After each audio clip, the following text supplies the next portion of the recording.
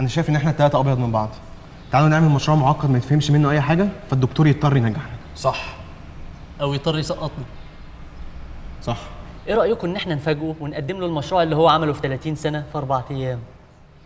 دي فكرة جميلة جدا طبعا يعني. بس مش شايف إن أربع أيام ده كتير يا معلم؟ تهبل يا ابني. عايز تعمل مشروع دكتور عمله في 30 سنة في أربع أيام؟ إيه؟ أحمد زهير؟ يا ابني ما إحنا مش هنقدمه هو هو. إحنا هنسرق المشروع ونغير فيه شوية حاجات كده ونلعب فيه ونقدمه له على إنه المشروع بتاعنا. هو لما هيلاقي إن المشروع اللي إحنا عاملينه شبه المشروع بتاعه 100% هيحترمنا وهينجحنا. أو هيكشفنا ويشلحنا. اسمعوا كلامي الموضوع يستاهل ناخد ال risk. ناخد ال risk. تاخده يا شهير؟ أخده قوي يا baby.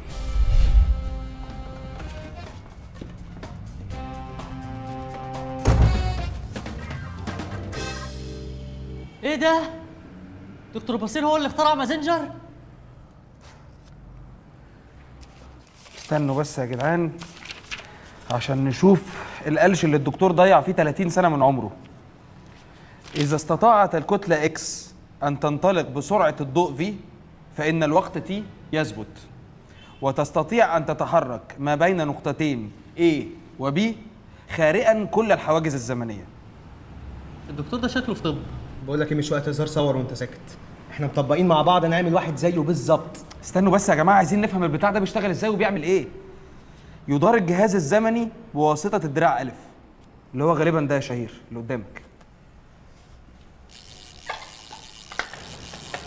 أنا مش فاهم يعني الدكتور بصير إزاي عايز يخش العالميه لاختراعه جهاز البيانو ولا؟ استنى بس. تولد الطاقة الكهرومغناطيسية عن طريق القرص الأحمر الموجود في الجزء الأمامي من الجهاز. اللي هو غالبا ده. طيب معلش بقى سمير افتح آخر صفحة في الملزمة شوف الجهاز ده بيعمل إيه أصلا. لا إحنا هنجرب القرص ده الأول ما عملش حاجة نقرأ بقية الملزمة. بسم الله الرحمن الرحيم.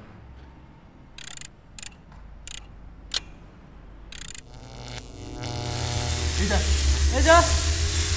إيه ده يا سمير؟ اقفلها يا سمير! أنا مش عارف إيه ده؟ إيه ده؟ الجهاز راح فين؟ هو الاختراع ده بيغير الديكور ولا إيه؟ آه أنا دماغي مش قادر. أنا هروح اغسل وشي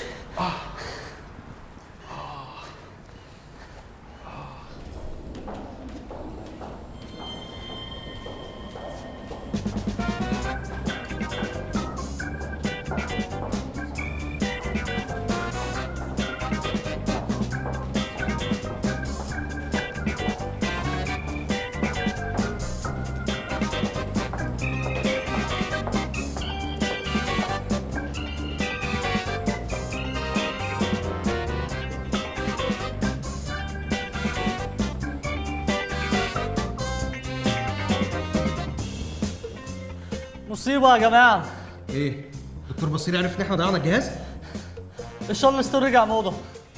إيه يا جدعان ده الناس اتجننت ولا إيه؟ ما هو ده يا إما الهالوين يا إما دكتور بصير عامل عيد ميلاده في الجامعة. ودول إيه دول؟ لا دول بنتين اهم ودي آه، بنت برضه. مش عارف. تعالى كده يا شهير. تعالى بص اقرا. وده مين ده اللي اسمه شوكت بقى اللي مطلع رحلة في الجامعة وأنا ما أعرفش؟ وعاملها بجنيه ونص كمان بيقطع عليا ها؟ جنيه ونص. أنا طالعها وش يا معلم؟ طالعها وش؟ إيه يا ابني؟ أنت بتصدق ده أكيد نصاب. بص جنيه ونص شاملة الإفطار الإقامة الانتقال الكافر. ده لو قصد يخسر مش هيعمل كده. هي حاجة غريبة فعلا بس عارف إيه الأغرب؟ على أن يكون ميعاد الرحلة الخميس القادم أربعة في الشهر. الخميس الجاي مش أربعة في الشهر أصلا.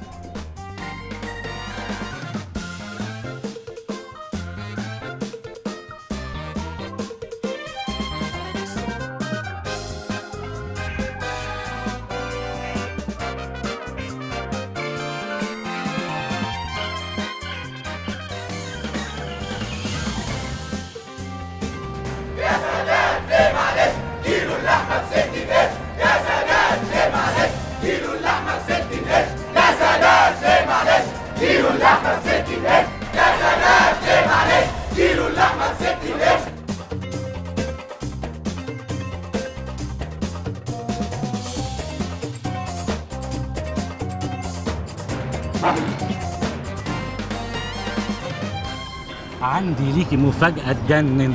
خلاص يا حبيبتي حلم حياتنا هيتحقق خلاص. لقيت شقة في المعادي ب ب 150 جنيه خلو.